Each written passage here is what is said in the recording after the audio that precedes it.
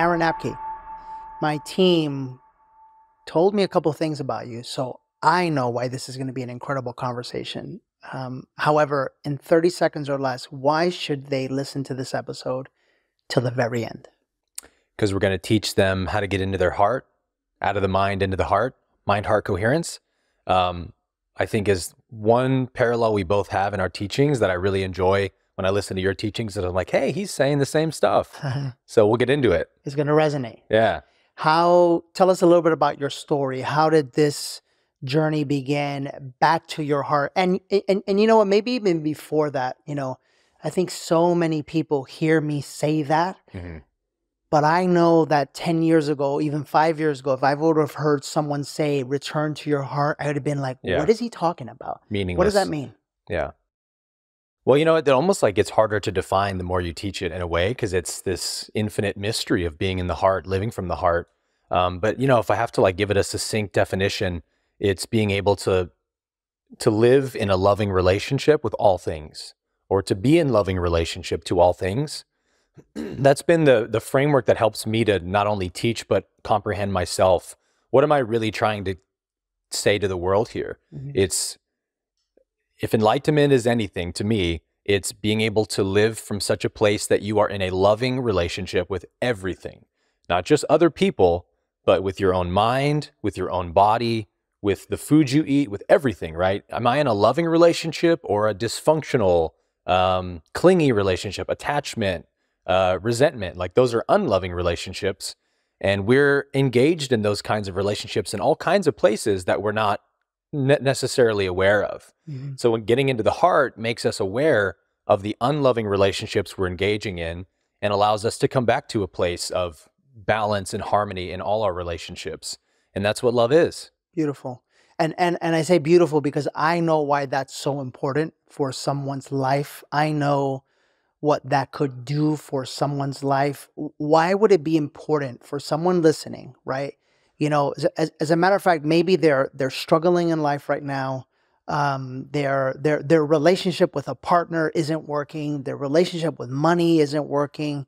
Heck, their their their body is constantly in stress and pain why is returning to the heart such an important conversation to have? hmm Well, I always have a lot of benefit from trying to understand the way the universe really is, the way it really works, you know, the the laws, the law structure of reality.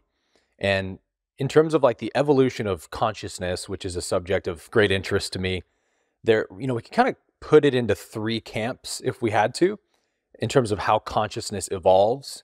And that would be like simple consciousness of the animal or insects. There's then self consciousness of human beings, at least on this planet exclusively. And then the third camp is what we call cosmic consciousness, which is where you go beyond uh, the personal identity and realize I'm actually a universal self, or I actually belong to the whole universe. And returning to the heart is what shifts you from that second phase of consciousness, self consciousness, which we call ego, Mhm. being obsessed with myself, my story, my needs. That's what's important to me. That's where all suffering exists, ironically, right? It actually doesn't exist in simple consciousness in the animal kingdom because animals don't have that self referencing kind of mechanism in the mind where they can um, think about themselves the way a human does and fear the future and regret the past and all those things that's only that only exists in self-consciousness. And that's where you know 99% of people live. And so the the only Is, is, salvation is, is it that high? It's I, I, think it's a- yeah i think it's at least 99% in terms of like who's really living from cosmic consciousness yeah, it's still very rare on our planet. Yeah. and some of us are living in you know one foot in each camp. We're getting there. yeah we're we're merging there. So it's not like you are or you're not it's a spectrum of evolution Right. but like who's truly living in cosmic consciousness 99.9% of people aren't It's very yeah. but we, our planet will get to a place maybe in 5000 years or something where 100% of people will live from that state of consciousness that'll be the normal operating mode right but we're not there yet Right. we're still in self-consciousness or the uh, the third chakra, which is the ego chakra.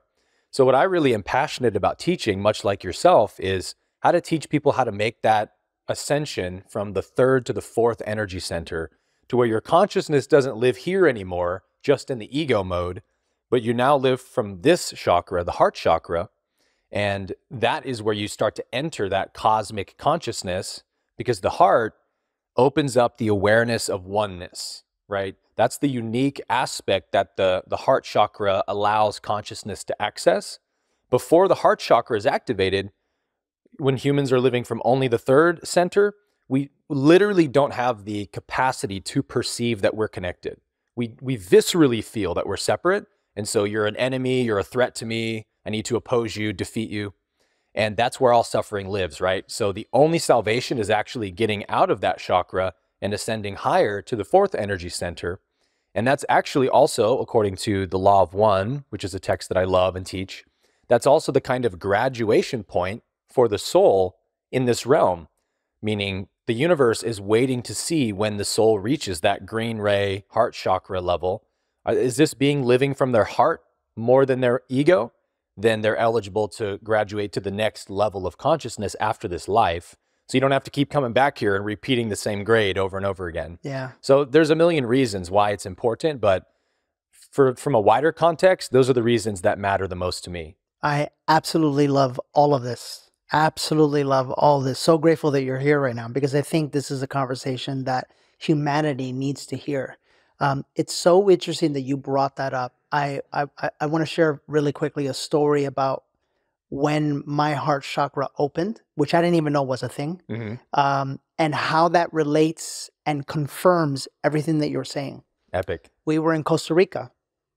We were at an ayahuasca retreat, and we're sitting down for dinner, a group of us. And um, I was talking back then about um, opening up an ayahuasca center. And uh, I was going to take them to a piece of land to show it to them. And little by little in that dinner, um, uh, they all started sharing their ideas. Well, you know, it's gotta, you know, make sure it's not on a hill because people aren't gonna like walking up the hill. Uh, make sure that, you know, it has uh, organic food or whatever the case may be, Mhm. right? And they all started sharing their ideas with me. And I, in that moment, I thought, oh my God, I get it. Like, I can't do this all by myself. And everything I've ever done in my life, I've done it all by myself because everyone has been my competitor. Mm-hmm. Like, whether I want to admit that or not, yeah. like, that's where I was living. Yeah. And I was like, wow, that's wild. And it's, I got it, right? I go home that very night. I lay down in bed and I just started to feel this. And I, I go like this because there was like this warmth in here, right? And I thought, wow, that's kind of weird. And it started really small, like a pebble. Hmm. And then that warmth kind of started growing and it started reaching all across my entire chest. And I, my heart chakra is opening. And this was a new sensation. You had I had never, felt. never felt this in my life, but the only reason why I was able to actually feel it, like physically feel it, was because I had experienced my root chakra opening Mhm. and I experienced that physical feeling. I just find it very, very interesting that it came right after I thought to myself, I get it, like I need their help, right? Mm. So I have a question for you.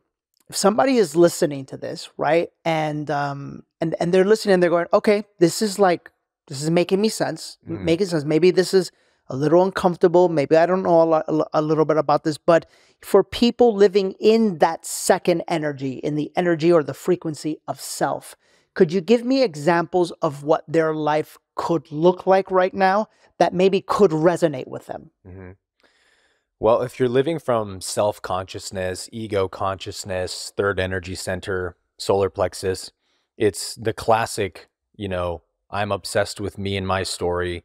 I live from a place where the world, the universe feels like it revolves around me.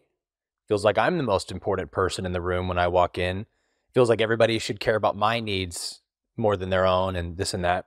And these are subtle things, right? They're not always at the forefront of someone's mind. But if you really get honest with yourself about how do I feel when I'm around others, when I walk into a room, Uh, in ego consciousness, there's a very visceral feeling of like, I'm the most important person in this room. And that's what produces suffering because every identity the mind creates, um, I'm this person, I'm attractive, I'm funny, I'm smart, whatever the identity is, it becomes this like bullseye target, right? That you have to constantly protect and defend because then anyone who might appear smarter than you or funnier than you or more attractive than you is A threat. a threat to you, right? And so you're going to feel insecure, nervous, upset, jealous. And that's just one of the ways that ego creates our suffering. And so there's this attachment aversion pattern, which is notorious of ego consciousness, in that we talked about loving relationship. The only two relationships the ego can have with anything is attachment or resistance. It cannot have a balanced, loving relationship because the ego always needs something. It Mm, needs to get fulfillment or it needs to avoid pain. I love that. I love that. How do people, right? So that so that we become aware, how do people that live in, you know, that ego relationship and the need to to how, how does that show up? Could you could you give me an example, like a real world example of that? of how it shows up? Yeah. Well, you know, uh, let's take romantic partnerships are always one of the best places to look at. Mm-hmm. Those tend to be the the playground where ego shows up the most tangibly, right? And in a in a romantic relationship, um, are you familiar with the Course in Miracles? I, I, you know, it's something I have obviously heard of time and time again, yeah, yeah. but I have never Okay. engaged. Yeah. So the course calls it the special relationship, um, which is the ego's version of love. And it means like, I need you to make me feel special. I'm with you because when I'm with you, I feel more special about myself. Um, you, because you're attractive, you're this, you're that. Nobody dates someone that they think isn't attractive, isn't successful, isn't this or that. You date someone you think the ego believes has desirable qualities, right, that are going to enhance you. And so I'm really only with you because you make me feel better about myself. You make me look better. Um, I don't feel so alone with myself. But it's not like I'm really here because I genuinely love you as a being and want to serve you and bless you. It's really all about me secretly, right? And we know that because in the honeymoon phase, everything looks like it's going well. But the second she gets a text from an old guy friend, that ego comes out in full force and is going to crack the whip on her and become very unloving all of a sudden. And then things can expand from there into a nasty fighting and, and this and that. So that that shows you that if hate is there in any way, true love was never there. Hmm. It was just false love being um, masquerading, right, Mm. as real love. So that's like, you know, one of the classic ways we see ego show up is this possessiveness. And it's not just romantic relationships, but even friendships, ego will become possessive of. Um, you know, we could go on a, a myriad of different things, but that'd be the most easy thing I think for us all to relate to because we've all had a special relationship. I had tons of them, you know, before I came into this awareness. And so the the question is how do we move from a special possessive relationship to a loving relationship? And it's again, it's that journey from solar plexus to the heart. I love that. As you're speaking, it's just resonating so much with me, so much with me, and and my relationship with Jen, you know, and some of the things that we have had to go through, even not only within ourselves, but in our own, in in the relationship to like to Yeah. like live in that space, right? Mm-hmm. Okay, and so how did this journey begin for you? Because because because you you you know you're you're speaking absolute truth, right? And and and and I think getting to a space where you can when you are aware of truth, universal truth, Mhm. that's a journey. That's a journey. Oh, it is. It's a it's a deep, scary Yeah. journey, right? What was your journey like? What where did it begin for you? I grew up as a evangelical pastor's kid, pastor's son. Oh, I'm gonna have fun with this conversation. Yeah. Did you grow up religious? Uh very. Oh, nice. Yeah, What uh, denomination? Well, for me, it was first I was Catholic, Okay. and um, and then I graduated to Christianity. Nice. Yeah, and then I I tried to save the world, obviously. And yeah, From hell. yeah, yeah, yeah. Yep. Yeah. Yeah, same in a lot of ways. Um, one of my guilt points as a Christian was actually the fact that I never converted anyone to confessing Jesus as their Lord and Savior because I always felt this weird ickiness about it. I was like, this doesn't feel right to come up to a stranger on the street and ask them if they've accepted Jesus. I never did that either. Yeah, it just didn't resonate. But I felt guilty that I hadn't done That you hadn't done more. because we're told in church, go make disciples. Right. But it's like if this was really good news that we were all really in full belief in, we would you wouldn't even have to tell us to go make disciples. You know, we wouldn't even be able to keep it to ourselves. But it was like my Christianity was almost like a dirty, dark secret at school and stuff because I secretly didn't resonate with a lot of the beliefs. I definitely loved God and loved Jesus and wanted to emulate and follow Christ. But uh, Christians, Christianity, not so much. And so I got to this place at 23 where I had graduated from Oral Roberts University in Tulsa with my bachelor's in music and theology to follow in my dad's footsteps, which I'd always wanted to do. And then I had this existential crisis of awakening where I was like, I got a job at a church as a worship pastor, full time worship pastor. And this church was very different than my dad's church, our church growing up. My dad never preached a lot of dogma. He didn't ever preach about hell. He didn't like those topics either. It was always about the love of God, the forgiveness of God, the spirit of God. And so at this church, it was the total opposite. It was super dogmatic, super legalistic, and all they wanted to talk about was who's going to hell and who's not. And we've got to go save everyone because they're all destined for damnation. And I was confronted with this picture of God that I did not know. I had never encountered such a God in my heart. I'd never experienced a God like this. I got to this point where I'm like, I don't know who you're talking about here. Wow. So I can't be here anymore. Because what, what was that moment like? Because because I know that must have been like, right? I began at around 18 years old when I would start to read the Bible and read things, you know, from the lens of every word in this book was written by God's right hand. You know what I mean? Reading from that lens, I would read stuff and be like, Doesn't- no way. Like Yeah. that definitely was written by ancient people who didn't understand science and stuff. Yeah. So things like that started to wake me up. But at 23, 24, I couldn't keep it in anymore. The internal conflict had just reached a boiling point. And uh, there was three different things that happened at my church that really just broke me in that way. Um, I'll tell one of them Okay. versus all three, but there was a, we lived our church was in downtown San Jose and it's a very very busy dense urban city and there was homeless people that would sleep on the steps of our church we had a big huge almost like cathedral looking church building it's called Crossroads Bible Church in San Jose.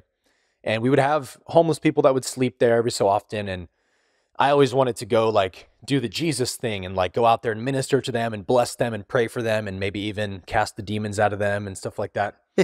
So there's this homeless guy out there one day, and this was after the first two blow up events had already happened, and I was like on a fingernail's edge about to leave already, and uh, see this homeless guy, and I'm like, I'm gonna go. Um, I was not healthy back then, so I had a hot pocket for lunch, and knew nothing about nutrition, and uh, I was like, I'm gonna go heat up my hot pocket for this guy. And give it to him, and then I'm gonna charge it with God's love, so that when he eats it, the demons will come out of him, and I can pray for him, and you know, because he was talking to himself and all this stuff. And so I, I do this. I go heat up my lunch, and I'm I walk out to the front of the church, and uh, there's an ambulance there, and these paramedics are strapping the homeless guy into a gurney, and my pastor's there, kind of watching over this the event, and two cops are there, and the homeless guy is screaming out. Um, and he was in the church at this point. They were wheeling him out of the backside of the church on the gurney, and he was screaming out, "F you, church mother effers! F you, church mother effers!" and basically like calling out their hypocrisy. Like, I was just trying to sleep here, man. You guys get me arrested. Like, right. you guys are hypocrites. And my pastor was like, oh my gosh, I can't stand this vulgar language in the house of God. And the cops were like, come on, man, don't you want to save it for outside? And I was, I felt like Jesus turning the money tables over. I was Yeah, like, I was like, no, no, no, he's right. That's exactly That's what we are." exactly I was like, let him say it. And my pastor was like, what did you just say, Aaron? I said, he's right. That's what we are. Let him say it. I was like, come at me, bro. So he was like, meet me in my office. And I was like, gladly, you know. Yeah. I knew I was quitting at that point, so I had Yeah. nothing to lose. Um, kind of a breaking point. But um, anyway, I just told him, like, look, man, I'm out. I can't do this anymore. I don't believe anything you guys teach here. I've been keeping that a dark secret from you all, but I, I gotta I gotta move on with my life. And I know you guys just hired me so to be your worship leader. And they were like an older church trying to get young blood in, and like that's why they hired me. So I knew it was gonna be hard for them to like not have a worship leader. So I said, I'll give you three more months to find a replacement, but like don't but that expect must a lot have of me. that must have ate you up Terrible inside. decision. I I know I know I was that 23, bro. I know that feeling. but listen, listen, to your credit, to your credit, to be, I, I just, I'm just so grateful for this conversation right now because number one, you, you, how beautiful that in your journey, you had that awakening, that awareness at such a young age. Because for me, man, I was, I was the, the, the, the, the good boy, Yeah, right? Same. A- and and I would not do anything. Like I, I was the guy that when they said like, I mean, when they said whatever they said, I was just like, I'm just gonna do whatever you tell me to Yeah. do, you know, and I'm just gonna be whatever you want me to be. yeah. But then what started happening inside of me was like, but some of this just doesn't feel right for me, you know. And then and then my mind would go, uh, uh you can't you can't think that. That's the devil. That's the devil. Yep. That's it. That's the devil. You can't, uh uh, uh uh, like cast it out or whatever. Yeah. And then I go back to living like normal, right? And then, you know, I, I, I would start attracting a lot of success in business and, and a lot of just cool things. And I you know, people would say to me, well, like, God has really blessed you. And then I would think, like, well, shit, like, didn't I envision it? And didn't I, in a sense, create it from those visions? Uh, uh, no, no, no, no, no, no, no. The devil's in. So, Mhm. you know, and then for me, the crust was like relationship and marriage. Like the whole concept of like, once you're in, it was like you're in. Yeah. And, and I had a pastor literally, t- which I understand commitment, that's a different thing. But, but I had a pastor literally tell me, like, no, you, you, you made up your decision and this is it. You're, you're stuck basically. You're locked in. You're locked in. And none of that felt like good in my heart. Same. Awaken your truest potential, heal any limitations within, and transform your life forever. That's right. In the upcoming weeks, Awaken is going to be coming to New York, London, Miami, and Palm Springs. I'm going to show you how to break your limiting beliefs, attract your dream partner, and show you to get everything you deserve in life. This is my flagship event that has helped thousands of people on their healing journey, and now it's time to begin or continue going deeper into yours. If this resonates with you, head on over to dannymorel.com backslash awaken now to get your tickets today. I got married at 23 as well. Wow. Yeah. And then divorced at 26. Because I, I went this way from Christianity and she was having trouble following me and that, that just really diverged our paths. So I mean I should have I should have divorced that marriage right then and there because the writing was already on the wall. But again, I was 23, Sure. didn't know myself very well and was afraid. And you know how it is, right? Your entire family's Christian. Every friend you have is Christian. The entire society you've grown up in was Christian. I went to a Christian school, Christian college. I didn't know anybody who wasn't Christian.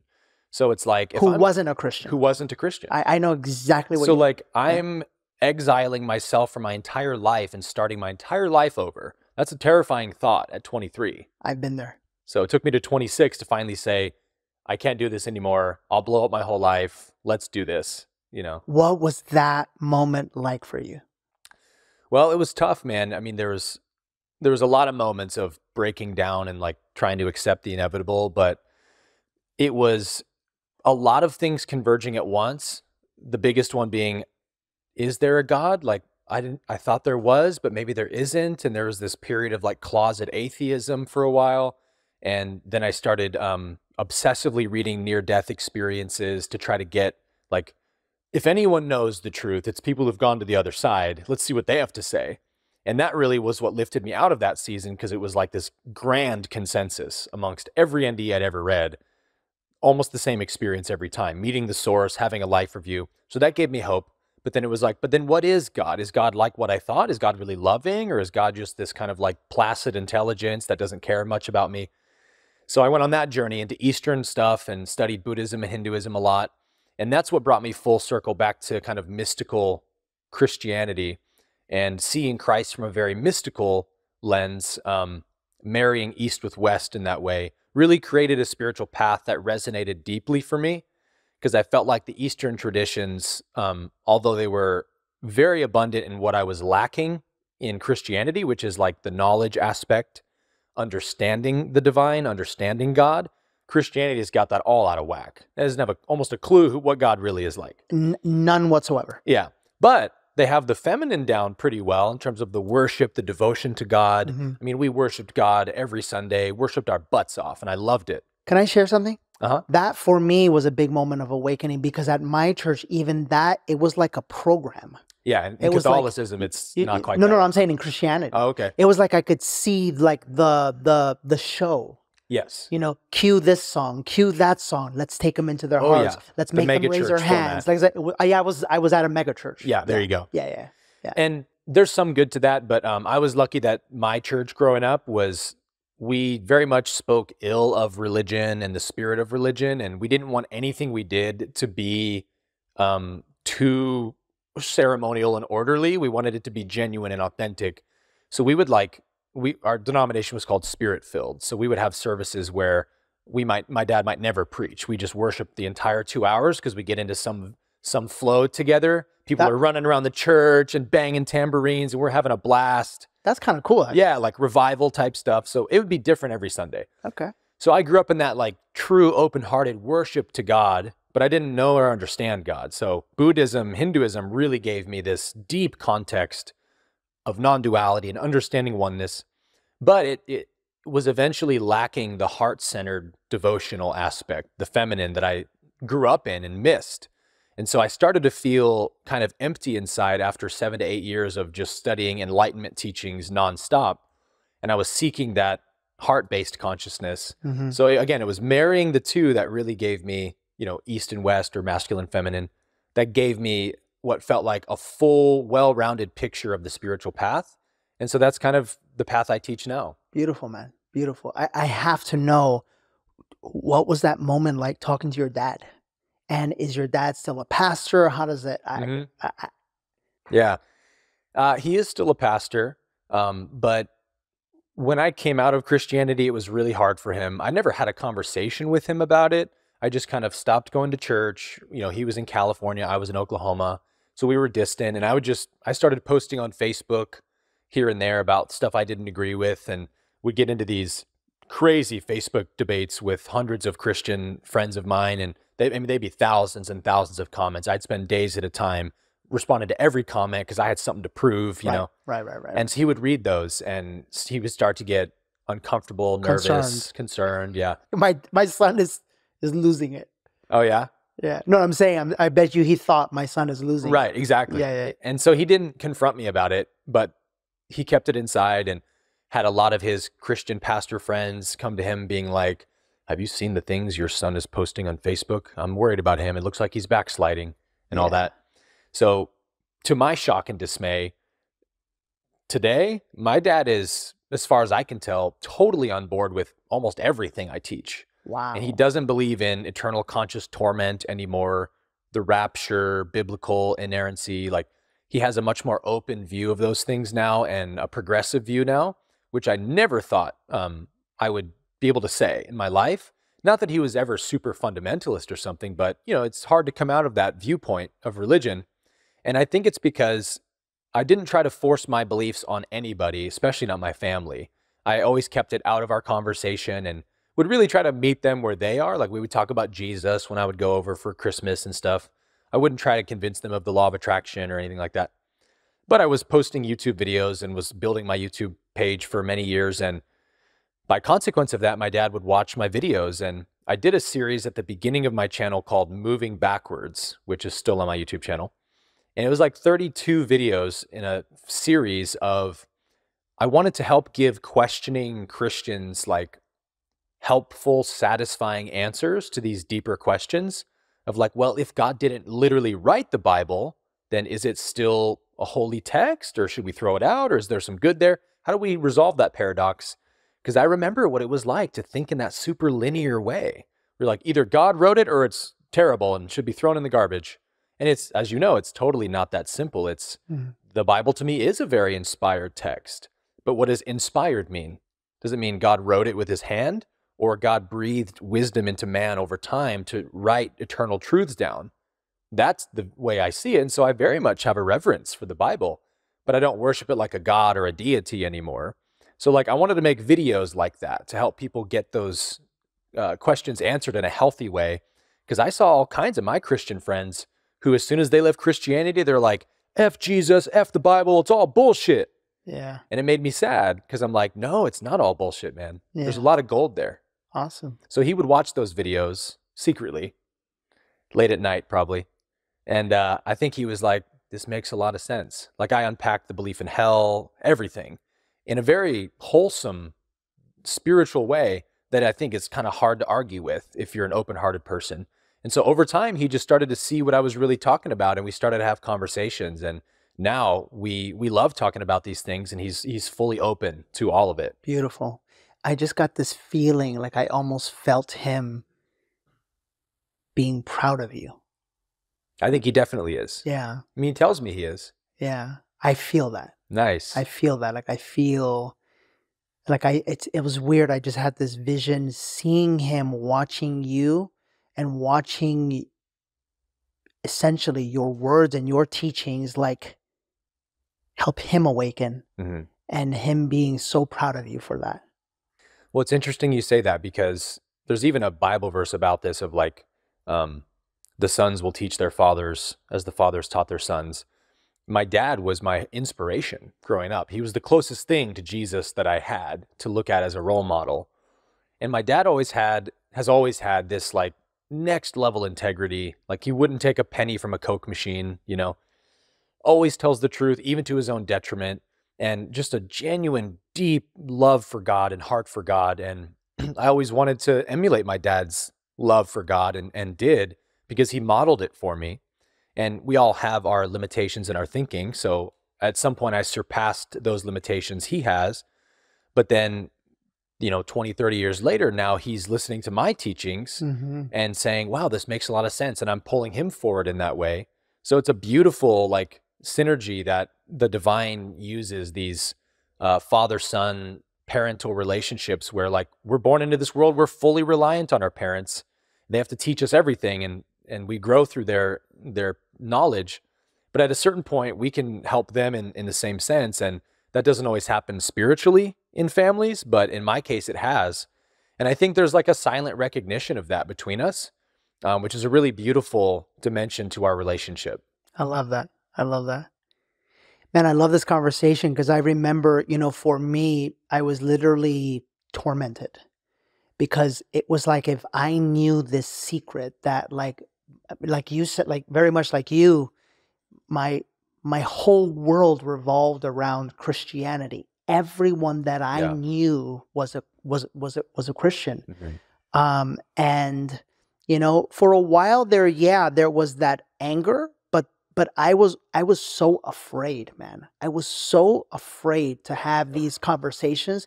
It is absolutely terrifying. I literally kept envisioning like them coming to kill me like if i spoke out and just and, and shared this stuff you know and it's been a journey to even and I and I say this I know you'll understand this it's been a journey to get to a space where we attracted you on the show in this moment because this show and this episode would not have worked even a year ago Mhm. you know what I mean Wow. So so my, my question for you and this is something that I, I I have to ask this is something that I know what my answer to this is this is something that I think most people want to know is Jesus God I love that question. uh, so do I And it's a resounding yes for me. Yeah. Um, the caveat is so are so you. So are you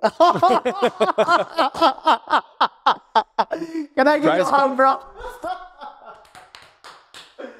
oh my god Was that your exact answer as That well? was my exact answer. My Had exact answer is so are you.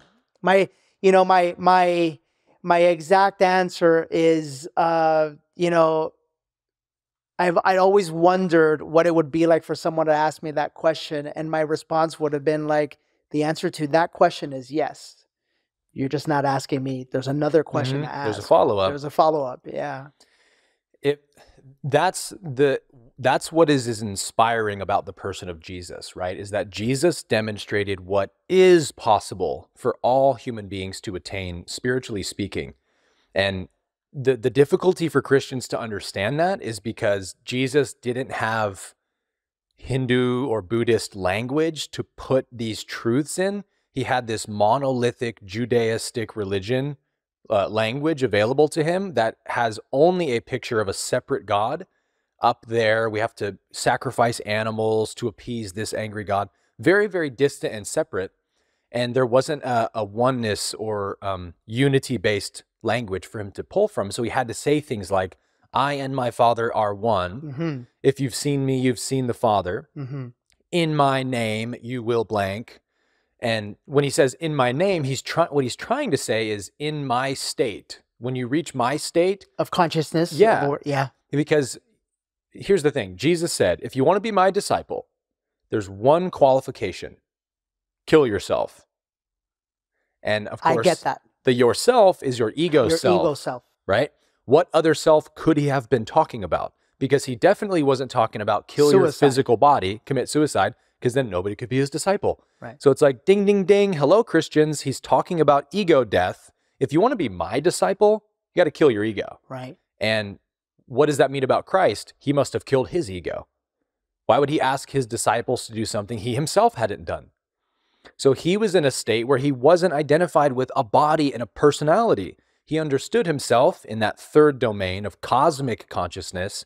I am aware that there is only God here. So that's all that I am and all I ever can be. So there's no person who's claiming to be God. The person is God, God is the person. A ray of light is the sun. You know what I mean? Just like nobody would say that the sun is a ray of light. So an individual person can't say, I'm exclusively God.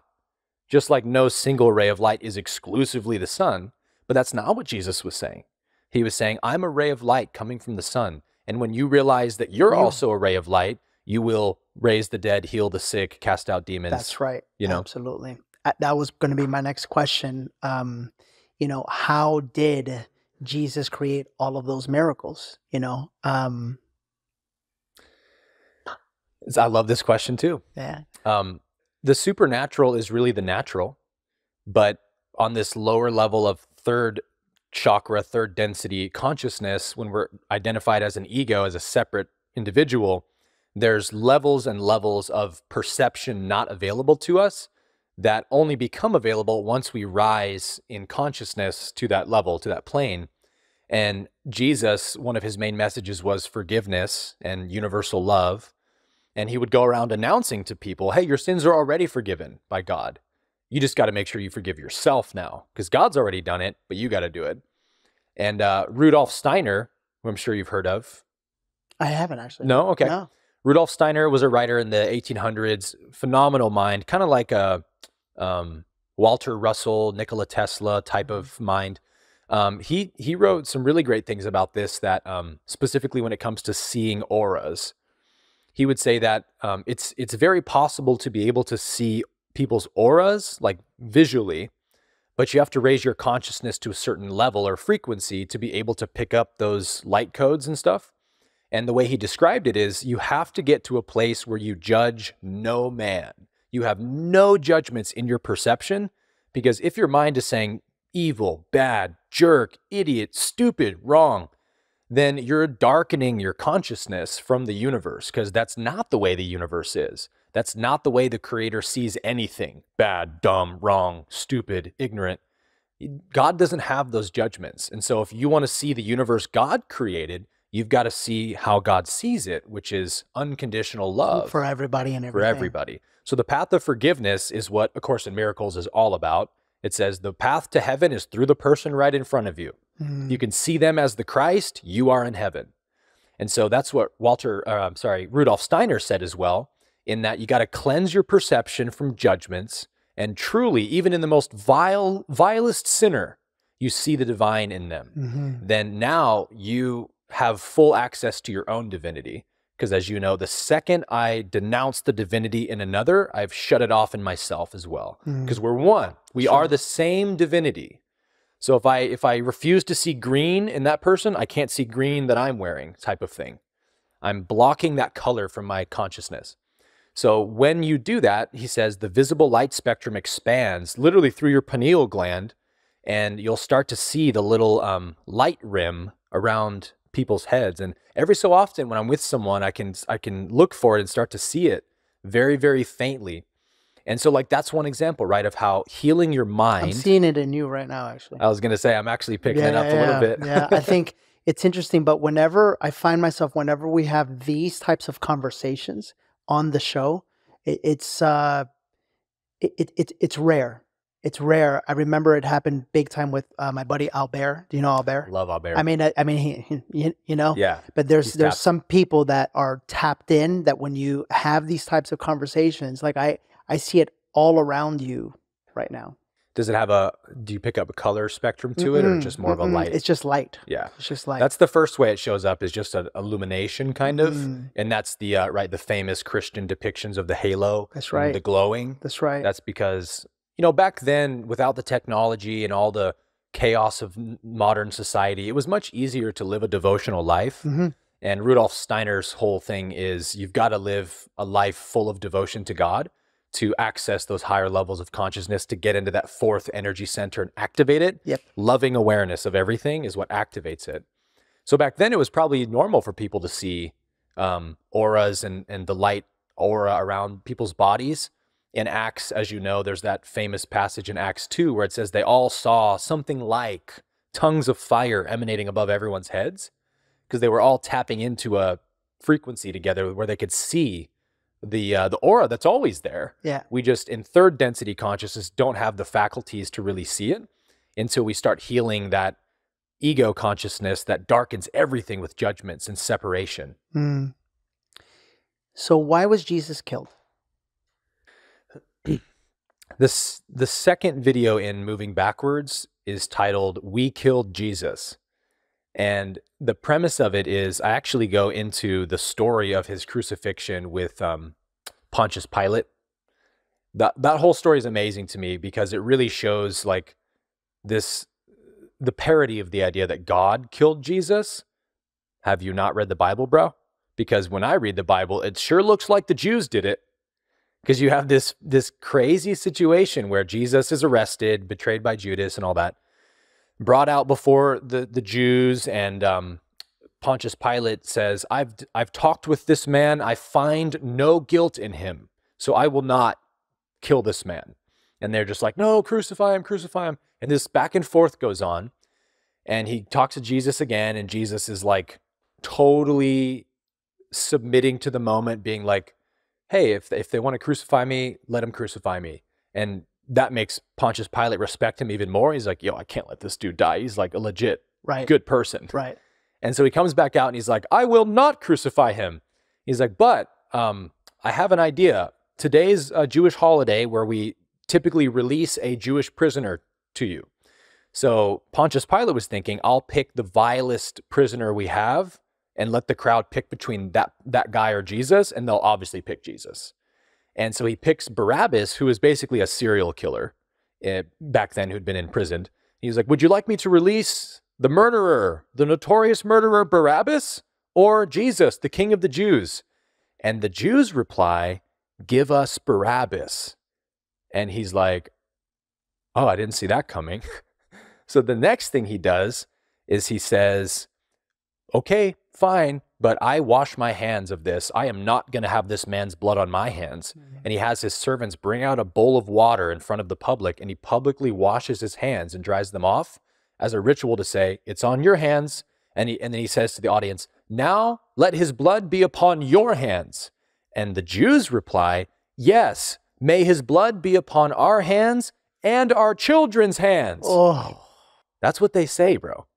And so he's like, all right. And he gives Jesus over to them and they take him through this torture ritual and crucify him. And to me, that shows basically they they couldn't hang with his message. They couldn't. They couldn't. I. I they, they they couldn't handle the truth in Yeah. what he was saying because it was such a mirror back to them in their lives that they weren't at a place in their journey where they could understand what he was actually saying. Yes.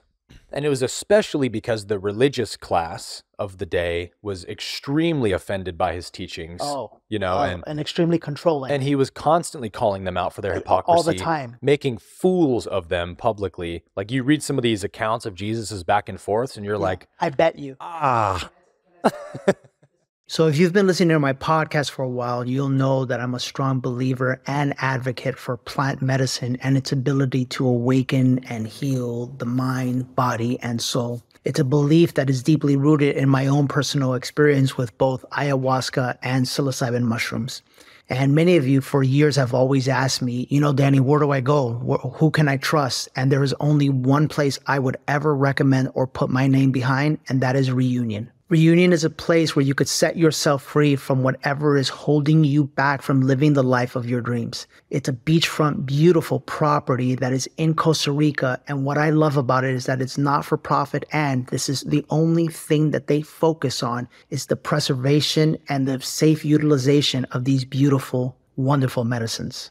And I only feel comfortable putting my name behind it because I am personal friends and have journeyed with some of the members of the facilitating team. Guys, I'm honored to have aligned myself with them to create the Higher Self Scholarship Fund. It's a fund whose purpose is in helping people who don't have the means to experience these medicines and yet have the desire to. And every time one of you books a retreat with Reunion, $100 from every booking is going to go into this fund, and we will be sharing this money with people on a monthly and bi monthly basis. So help me help others by using the code Danny Reunion when you go to register to experience your own life transformational journey. To find out more, go to reunionexperience.org and get ready. I want to I want to say something publicly that I think you will understand. When all of the dots started connecting with me, I had a moment of fear because the story of Jesus, the miracles he created, the healing, the message of forgiveness, the message that we are all one. In many ways, I found myself in that energy giving the exact message that he was giving. Yeah. You know what I'm talking about, right? Funny how that happens. Funny how that happens. So then I had a moment where I was like, what the fuck? Am I Jesus? Right? Right? it's my ego, my ego, right? And I start tripping out for a while, like, oh my God, no, but I, no, no, no, I don't want all of that. That's, that's a lot. That's a lot, right? Yeah. Did I come back? It's your ego, mm-hmm. obviously. Mm-hmm. And finally, I just started realizing it's like, no, dummy, this is, you're, you're where he was talking that anybody can get. You're where he was talking from. That's right. You're in the state, the in place. that state. That's right. And our job here how he comes back is through our awakening. Yes. And when we awaken and we reach that state, miracles start to happen. People start to heal. The, the literally heaven mm-hmm. on earth. Oh yeah. Comes back. Oh yeah. You know? And that's the beauty is that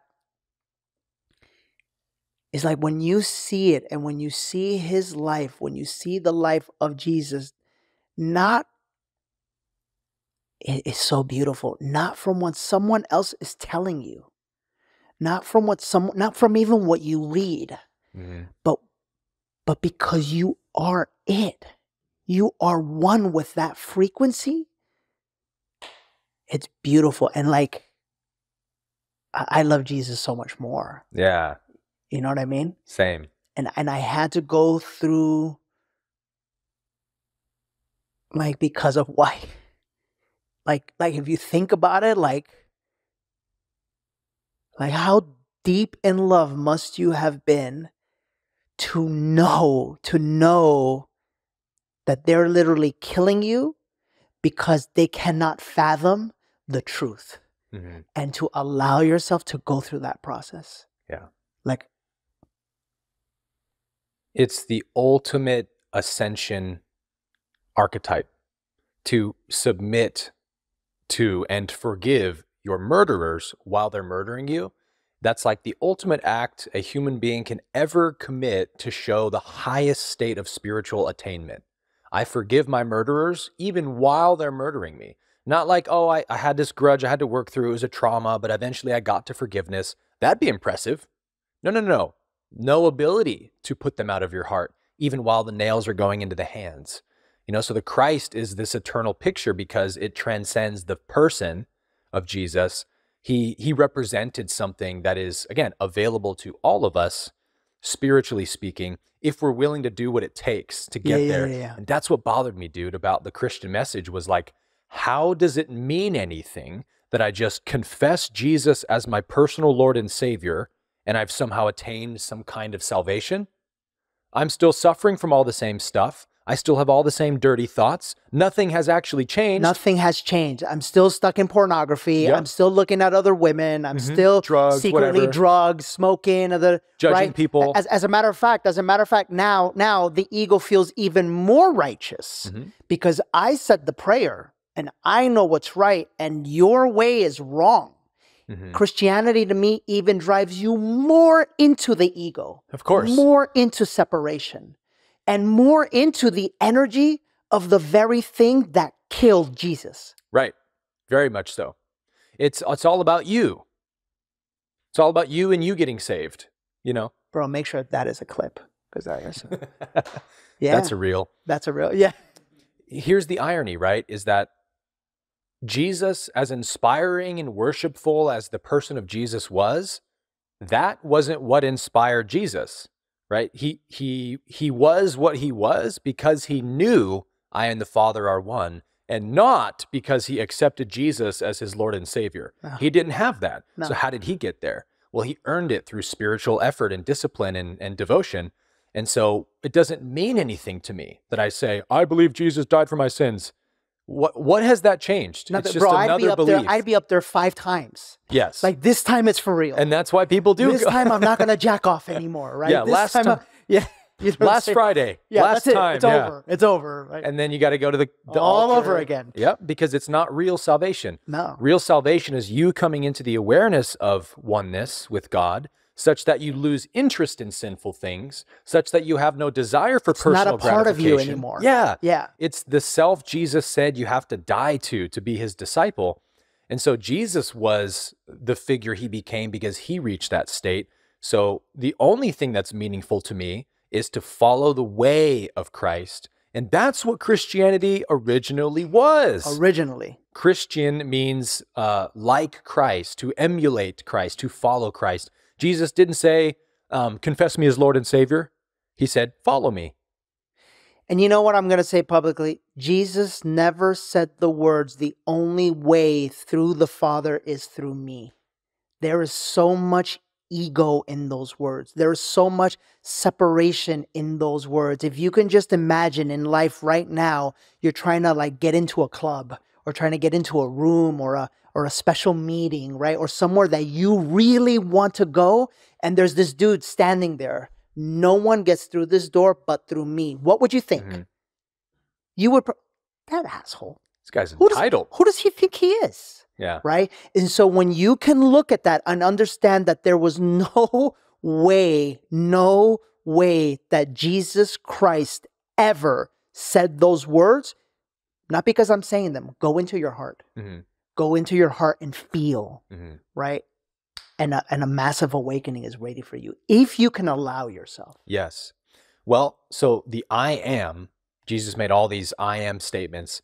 I am, the I am state is what is beyond the heart chakra. When you continue to ascend up the energy centers, you eventually reach a point where it becomes astoundingly clear to you that the only thing that truly exists is the I am feeling itself, that everything that lives and moves has the same exact sentience in it of I exist and that that's what God is.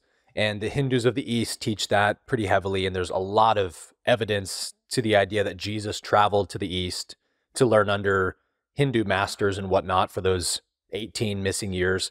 I think he must have certainly done that because mm-hmm. he, there was no non dual teachings available in first century Israel.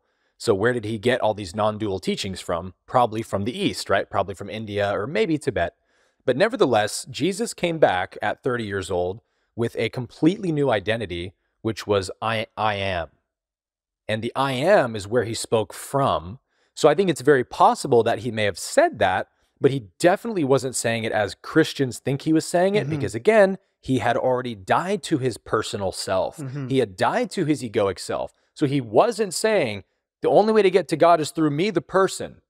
Because how do you make meaning out of that? What does that mean? You have to arrive at some weird, bizarre theology where you say, well, it must mean he meant to confess his body as your Lord and Savior.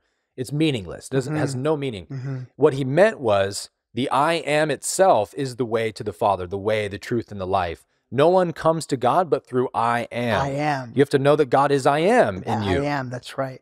Yeah. It's right there. Yeah. Beautiful. Beautiful. this is my favorite. deep, bro. Yeah, this is my favorite. This is my favorite. Gosh, I don't even know where to go from there. this is the topic we could I could jam on Yeah, with yeah, you for hours, man. Yeah, yeah.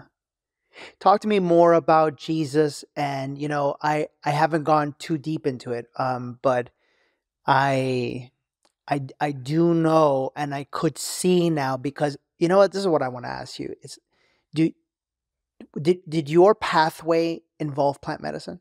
Oh yeah, Oh, it did. Oh, big time. because you see, for me, I I, I wouldn't be here without plant medicine. Yeah. What medicine? Uh, mostly psilocybin Okay. for me. In my uh, mid twenties, when I was going through my dark night, left Christianity. My whole framework of reality gets inverted upside down. Is there a God? That's a dark place to be. Yeah, man. And then you Yeah, add a yeah. divorce on top of that. Oh, bro, I've been. And then you add, I have no friends, and everybody thinks I'm a heretic and is posting about me being a. Be careful of Aaron Abke. He's backslidden. He's a heretic. Even if I didn't believe what they believed anymore, it still hurt my That's feelings. That's rough. That's rough. You know. Yeah. So all of those things at once, and then I moved back to California to move in with my parents. Huge bummer at 26, and I had no friends because I'm living in the Bay Area. I was working at Google as a, uh personal trainer. So you're living the Bay Area life. We're all in our little bubble worlds. I'm in my car. You're in your car. We get to our job. We go home. I didn't know anybody. So no friends, divorced. Everyone hates me. Does God exist? All at once. Super dark. And I had this, you know, suicidal depression in my mind that I could not get rid of. I didn't want to be suicidal. I really like wanted to enjoy life and live my life to the fullest, but nevertheless, these dark thoughts were there like it's not worth it, man. It's all hopeless, man.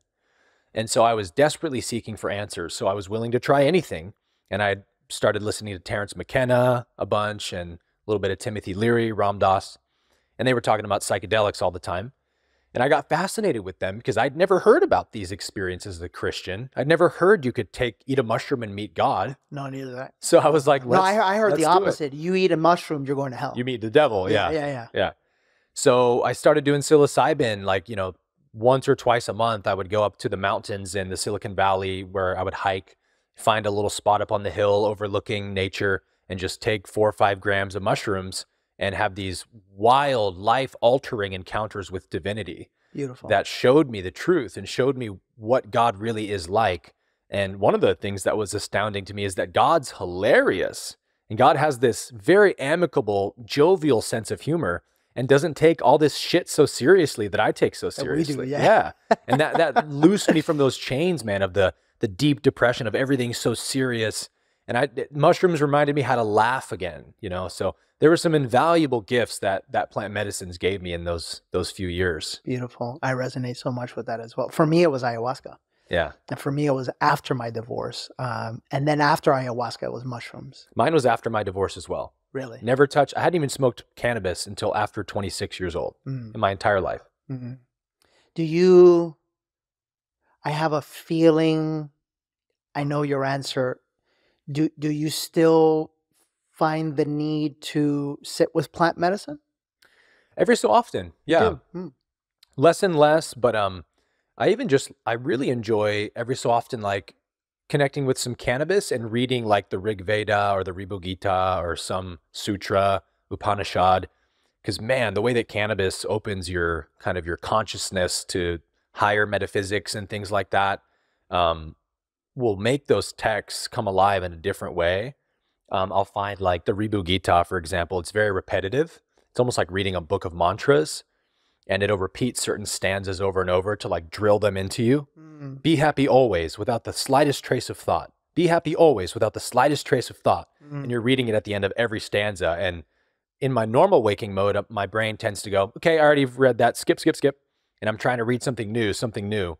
And they're like, no. Yeah, and it keeps going. Stay there. But when I connect with cannabis and I read texts like that, I'm like, absorbing it every time, like, oh, be, Be happy, happy always. always. yeah.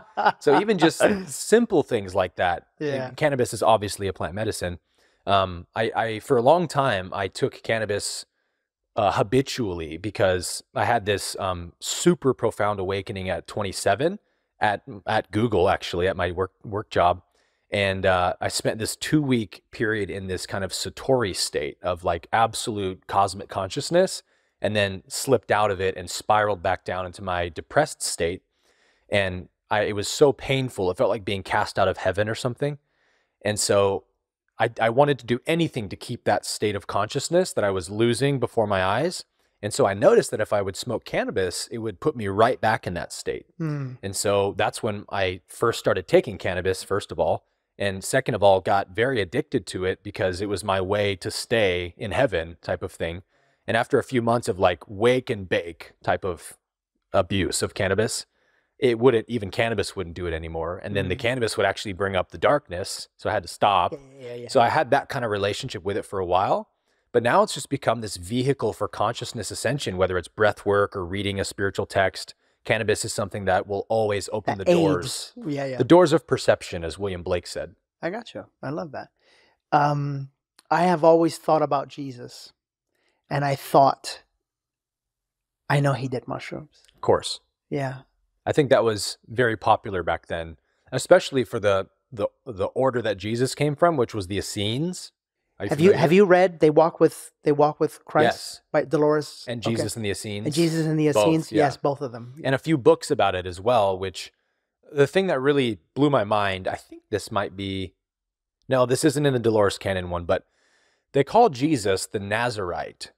Jesus the Nazarite, or sorry, uh, Jesus the Nazarene. Nazarene. hmm And every other every other village, town, locale back then, they would call it Ite, um, Amorite, um, Ph- Ph- Philistine. They would say it like that. But the Old English way was to call it Nazareth when it was translated into the King James. And in the King James, they call him a Nazarene. And when you look into the the Greek language, um, the the city he was from was not called Nazareth. That's the King James description of it with the eth on the end.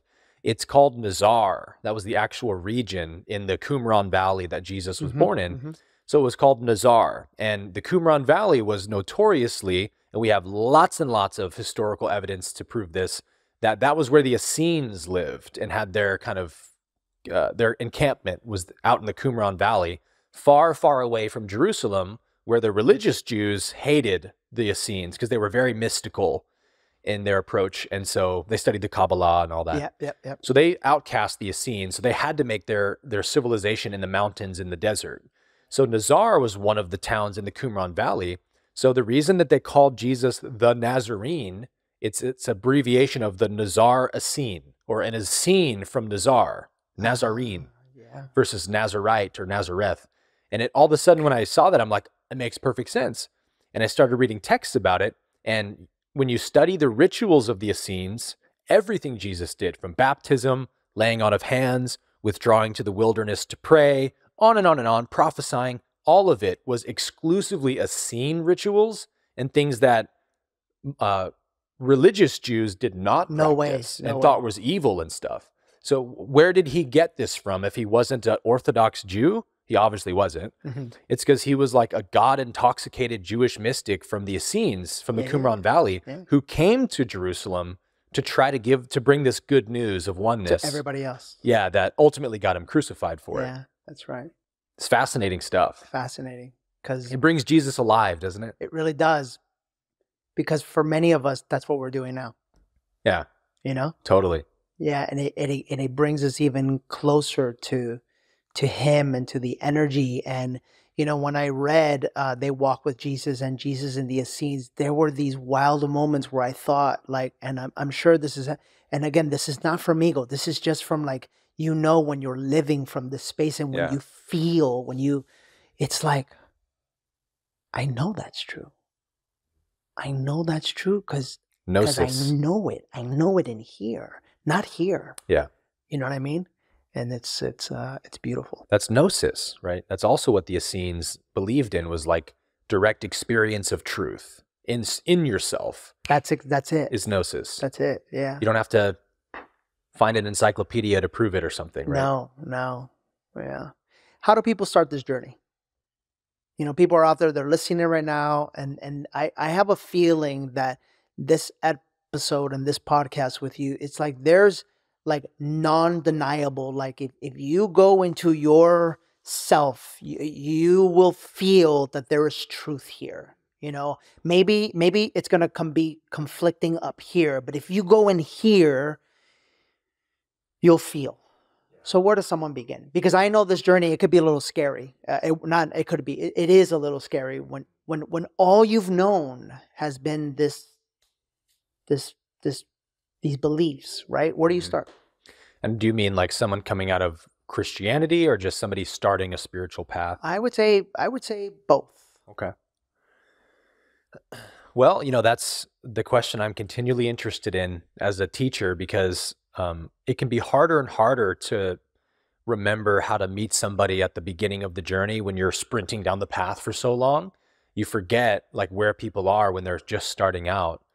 And um, so, you know, I don't know exactly what the best advice would be because everyone is kind of starting from a different place.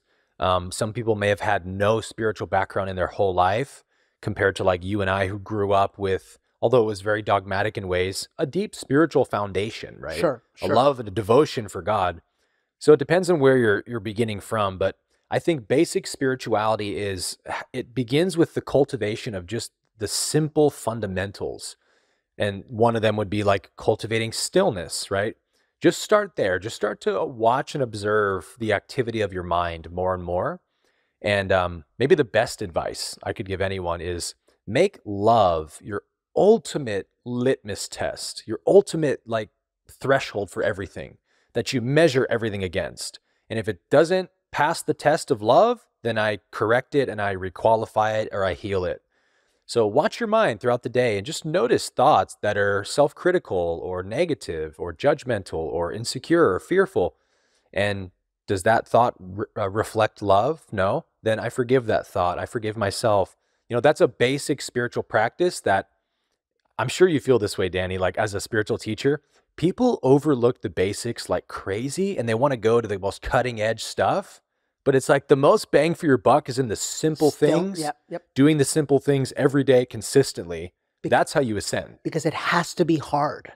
And Yeah, and, and yeah. you have to tell me how to do it. right and there has to be a way there has to be steps there has to be a process i i would 1 trillion percent agree go into yourself stillness quietness when you when you think you can't keep your mind quiet ask yourself why. Ask yourself what's underneath that.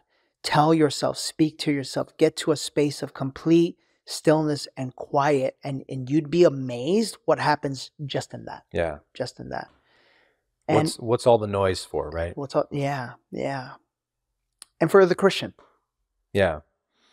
Well like you know if you're listening to this as a christian and you've made it this far congratulations. You must be progressive to some extent yeah. or you would have flipped this thing off a while ago yeah, right, yeah, yeah. Um, so if you're uh, assuming you're a questioning Christian, um, the thing that helped me, I think, Danny, was understanding. There's this amazing line from the course. It's really like probably the most famous line from A Course in Miracles. You may have even heard it, and it's really the way that the course opens, like the very first page. It says, um, "This entire course can be summarized in the following: Nothing real can be threatened."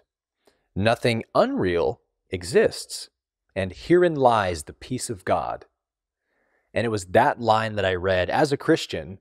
You know, somebody had said, "Have you heard of the course? I heard it's like a Christian text, and it's it reads like a Christian text, but it's not a Christian text. It it's a metaphysical text that's using the Christian language, the Christ, salvation, atonement, the Father, Holy Spirit. It's using those terms to point to eternal truths, right? So it's not actually Christian, but it does coincide really well with Christianity because of the languaging. And when I read that, I was like, of course, It all there makes it sense. is. Yeah. Of course, that's where peace comes from. What God created is eternal, immutable, indestructible, God's power cannot be stopped by anything. There is no second power in the universe that can oppose God. So truth has nothing to be afraid of. So why not question everything? Question the hell out of everything you can question until only the truth can possibly remain. And that's how you find God. You don't find God by saying, I already know the truth. I won't question it. I won't question anything because questioning is the devil. That's how the ego protects, Protects, its belief system. that's right. That's not how you arrive at truth. Truth is like, come at me, baby. That's right. Question me all That's day. right. I'll take right. every shot you got and keep right. standing because I'm real and I'm true. right. And it's the illusions that say, don't question, don't Yeah. question. And and and if and if you want if you have been listening to this podcast for any amount of time, you would have heard me say something along those lines over and over and over again. That everything starts with your ability, your courage within to ask the questions that you are afraid to ask. Yeah. That's where freedom comes from. Freedom doesn't come from running, and not questioning is running, right? It's going into it. Yeah. Yeah. Thank you, man. Thank you. This was What a blast, man. my my heart, my soul needed this for sure. We're in the green ray for For sure. sure. For sure. Absolutely. How do people get a hold of you? How do people learn more about what you do? Simple. Um, I'm just pretty much Aaron Abke everywhere. So aaronabke.com, youtube.com slash Aaron Abke, Instagram, TikTok. That's where you'll find me. Beautiful, man. Thank you so much. Guys, what a show. Um, I I hope you're still here. Um, because if you are, I think that there is definitely some incredible transformation happening within. Um, what I can say to you is there is nothing to be afraid of. There's actually a lot of joy in that transformation. There's a lot of beauty in that transformation. So just allow, just allow, and know that um, you're gonna be not only okay, you're gonna be wonderful. I'll see you next week on another episode of The Higher Self. Thanks for watching this week's episode of The Higher Self. If you heard something in this week's episode that caused you to think maybe, just maybe, there was a higher potential for your life, maybe there was a potential to earn and receive financial freedom, to attract the relationship of your dreams, or to improve your health, that's what we specialize in. We help wonderful human beings like yourself to unravel all of the limiting thoughts, feelings, and emotions that you've been living through so that you can finally tap into your life's truest potential. If you'd like to talk more about that, we invite you to join us on Instagram or Facebook and email us the word discover more. And when my team sees that, they will reach out to you, send you the details of how we could help you on your pathway to a life of abundance, fulfillment, and creating the absolute life of your dreams. Message us right now the words discover more now on Instagram or Facebook, and we'll see you soon.